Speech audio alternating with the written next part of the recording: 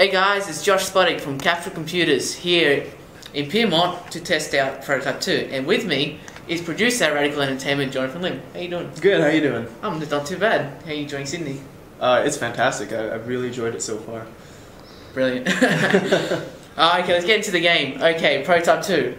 You, Mercer is not the main character. That is He's- correct. He's still a vital part of the story, uh, but he's not the main character, like you said. Yes.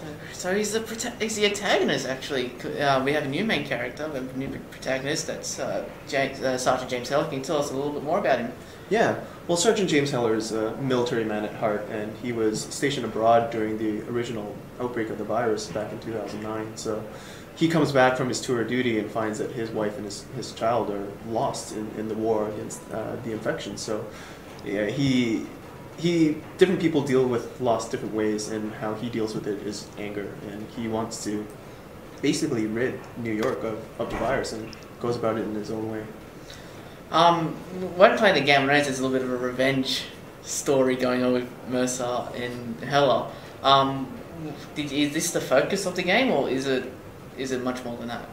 Uh, I can safely say it's much more than that. I think you've already played through a Yeah. little bit, and nothing is always what it seems, and I think that's kind of true of this game as well as the first. Um, where you know Heller is hellbent on getting rid of the virus, and he sees that Mercer is basically the linchpin for what happened. He's got to release the virus in New York, so he puts all his focus on that. But as you'll play the game, you understand that you know there's shades of gray between black and white, Mm. and I think that's where the interesting stories. Well, speaking of the Prototype universe, you guys have teamed up with Dark um, Horse Comics Mhm. to bring an abridged, well, three volumes of comics where they will abridge the bridge first and second. How did that come about? Well, I think a lot of people, I'm sure like yourself, are interested in seeing what happened to Alex between Mhm. the first game and the second game. You know, what really changed with him? How how has New York coped with the virus in that time as well? And we talked about bringing some of that into the game, but it didn't make sense. I think it focused too much on the past. And so this was a great way, like you said, to bridge kind of the events from the first to the second game. Okay, speaking about sort of gameplay, um, how would you tie it all within the story? Like, do they intertwine very well, or The gameplay. the gameplay and the story? Yeah, how they work? Yeah, I mean it's a huge focus. Um, for one thing, the how you get powers as Heller is a little bit different from the first game. I- If, I don't know how familiar you are, but in the first game, when um, you kill different things, you got some evolution points, and that was your currency to get new skills and how get new abilities. And that was really abstract in terms of how it fit into the game universe. This time around, we're doling out powers through consuming things. Consuming brawlers now gives you claws, and so on and so forth. So that's just one of the ways we've kind of tied the gameplay and the story Yeah. a little bit tighter together. That's good. Um, there's no multiplayer, but I'm guessing that's because of um guessing that it wouldn't work with the game. Would did you guys see it that way, or did you guys say maybe we shouldn't?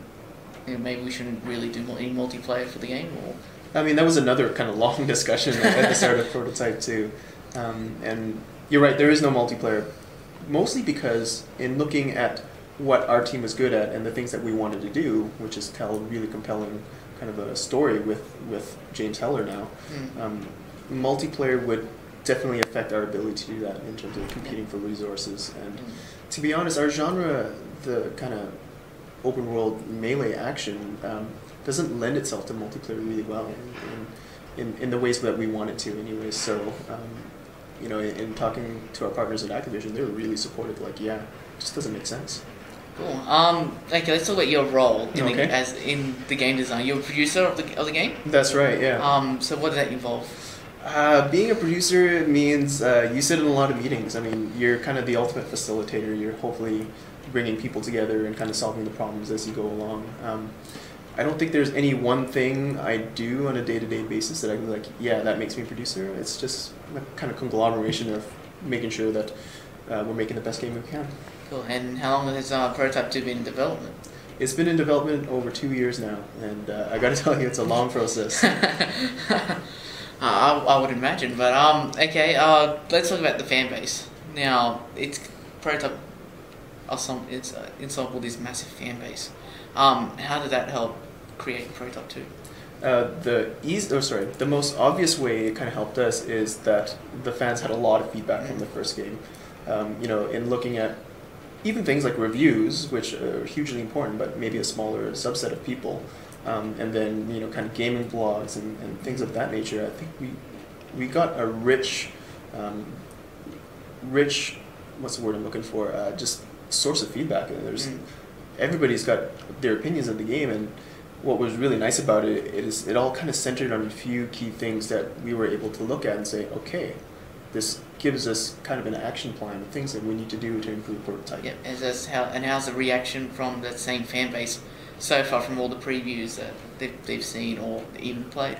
Uh, I mean, it's been pretty strong so far. You know, our Facebook fan page has got hundreds of thousands of people that are just they're just cramming or for sorry they're um, jonesing for more information about the game and new screenshots and stuff like that. So, um, you know, they've been a huge part of the, the hype that's building around Prototype Two so far.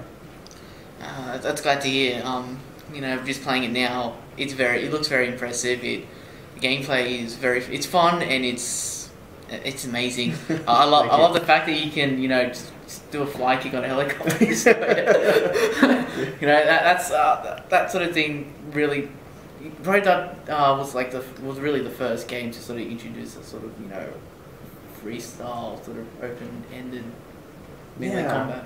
Yeah, I mean, a, a big kind of pillar for us is the ultimate power fantasy. You know, if there are things you want to do uh, in the game, chances are you're going to be able to do it. You want to pick up a rocket launcher and fire it down the street, you can do it. If you want to uppercut a helicopter, you, know, uh, you can do that. And, and it's you know putting this in players' hands. It, it's it's real treat for me to watch people play because you know as soon as they do things like that, there's a huge smile that just kind of spreads across their face, and you know, that's that gets me really excited about the game.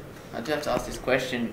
How relieved are you guys that you actually can sell this in Australia, considering our strict classification laws? Well, you know, Prototype One made it through, um, and you know, in terms of the content, it's very similar to Prototype One um, in terms of the execution of how we did the content. So, uh, you know, it's it's not a done deal yet, but I'm hopeful that uh, we'll get through. Okay, so when can we expect prototype? And are we going to see a demo? you can expect Prototype on April 24th, 2012. So, just a few short months Yeah. away. I don't believe we finalized our demo strategy yet, so I, I don't know either way. But uh, either way, hopefully you guys will get a chance to play it in April.